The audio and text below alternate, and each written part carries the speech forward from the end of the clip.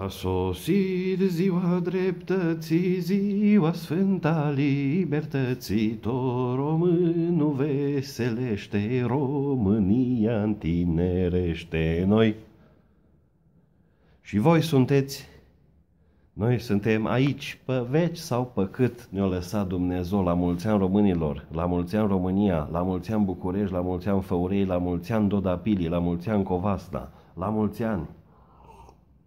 La mulți ani Ploiești, la mulți ani Satul Mare, la mulți ani Chișinău, la mulți ani Alba Iulia, la mulți ani Oradea, la mulți ani Deva, la mulți ani Călan, la mulți ani tuturor românilor de pe tot cuprinsul acestei țări și acestei lumi, că suntem peste tot, suntem peste tot acasă, că avem inimă mare, suntem oameni cum se cade, la mulți ani. Ar trebui să închin cu o ceașcă de vin fiert, dar anul ăsta nu sunt ceremonia, așa că mă rezum la câteva gurițe de cafea trimise de prietenul meu, Vlad Val Pandrea din Florida, acolo unde președintele nostru își face concediile și vacanțele anul ăsta, nu de ce, rușina PSD, la mulți ani românilor, la mulți ani dragi români, cum vă simțiți?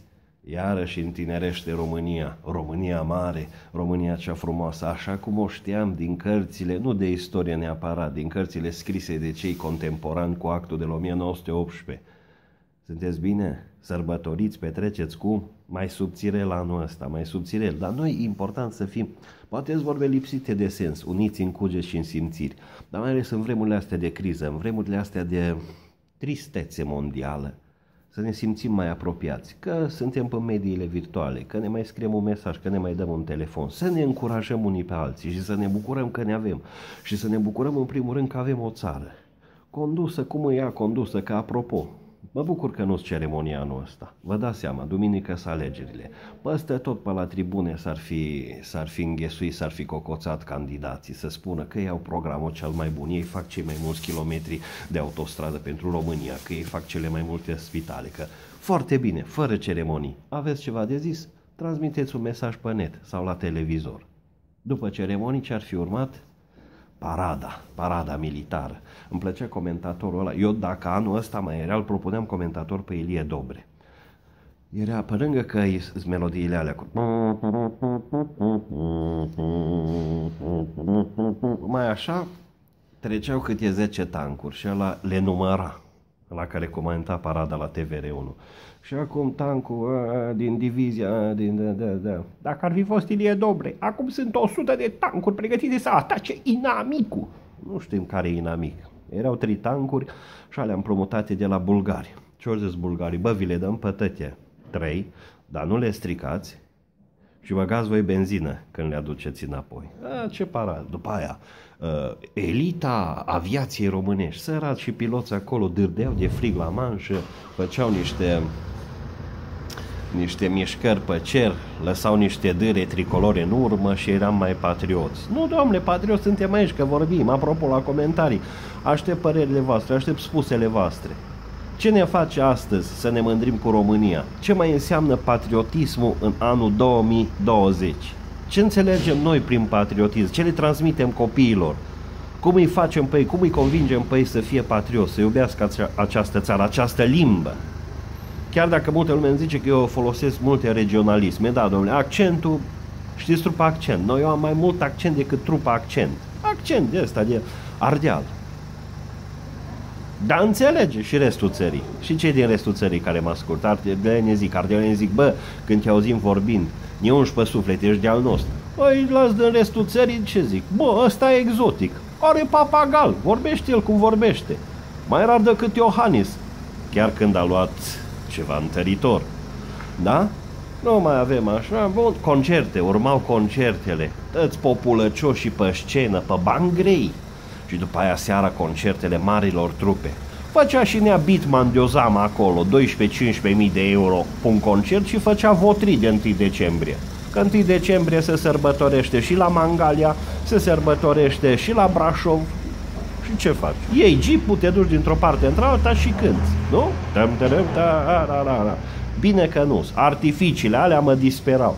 Bă, puțea, pucioasă, cel puțin un ceas în tot Clujul după ce trăgeau artificii. Și artificii pe bani grei. artificii pe bani grei. Acum sper că folosesc banii ăștia economisiți cu ocazia lipsei de artificii, îi folosesc într-un scop mai bine definit, ce să zic. Și nelipsita, dar trebuie să iau o gură de cafea, prietenul meu, Val Pandrea de la Florida, rușină peste de... Cel mai mult fasolea la cazan cu ceaun. La cazan cu ceaun, cu ciolan la ceaun. Fasolea, Băi, mirosea a doua și a treia zi de la emanațiile noastre, mirosea în țară de nu se apropia niciun țânțar, nici o bolă, nici o gripă, nici un guvide. Poate că e o șansă de relansare a țării. Nu mâncăm fasole cu ciolan în masă astăzi, nu ne vom da aere la anul, ca să nu le zic altfel. Am zâmbetul unui anelui Iliescu, da. Oricum mâncăm, nu? Acasă ați pregătit o iacnie, o fasolică, o vărzică, tradițional românesc, nu? Uh, o româncă s-a stabilit în orașul Gifu. E foarte mic orașul, cât un gif, atâta dorează să-l parcurgi. Orașul Gifu din Japonia și și-a deschis un restaurant.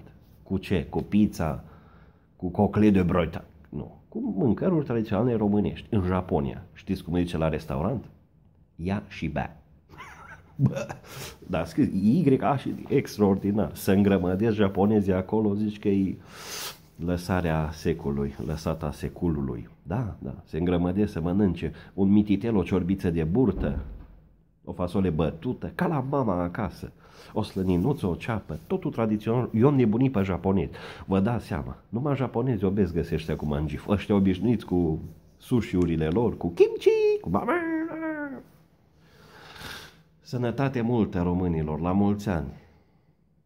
Să trăim ca frații, dar să ne despartă alții. Nu, știți voi de glumă. Cu fotbalul, băi, o premieră extraordinară. Când joacă Barcelona, Tiki-Taka Barcelona, a sau mâine, cu Frodi, cu echipa din Ungaria. Joacă în uh, grupele Champions League. Ce-au scris ăștia de la Barcelona pe Facebook? Zice, ne pregătim să jucăm cu Ferencvaros. București, aterizăm. Să vede că e 1 decembrie și Doamne, Doamne ne iubește. Pentru prima dată când cineva din afara țării confundă Budapesta cu Bucureștiu.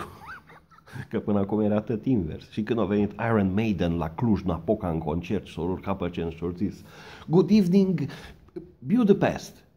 Mă, nu zis nimeni nimic, aici la graniță, ni. Uh-uh. Și socra s-o mai liniștit, spera să vină Nea Ando, dar Nea Ando e pe la voluntari. Tati Mirius a zis, mai stau o tură și după aia văd. Poate vin, poate nu vin. Dar, minune, negocieri în noaptea asta. Vine briliantul la Cluj, vine mutul pe la Cluj. Sper să-și iei niște bluji. Că fetele noastre tot el așteaptă, date cu ruj. Vine briliantul, a renunțat la echipa sub 21 de ani, așa scrie presa, nu mai antrenează și vine să antreneze CFR-ul. Pregătiți Marafetul, pregătiți Matrafoc, Sumutul e gata să tragă o nouă linie în cariera sa. Eu îl încurajez. Îl încurajez și doresc mult succes. În sfârșit are și el o echipă de antrenat, poate să-și dovedească și chestia asta. Ca, ca fotbalist, a fost acolo. Un pic îi lipsea. Țin minte un titlu genial după ce l-a prins Mourinho la Chelsea, un titlu genial din Cațavencu.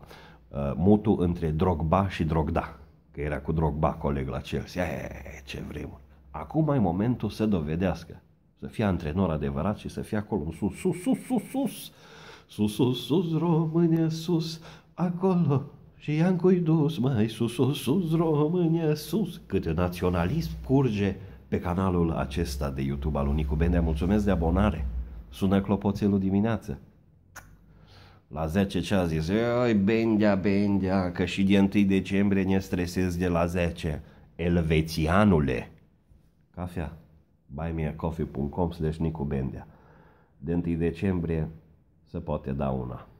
Trebuia vin fiert, dar cum nu avem voie la ceremonii și trebuie să păstrăm distanțarea socială, bem ce avem prin case, camere și șpaițuri. O zi frumoasă, românilor.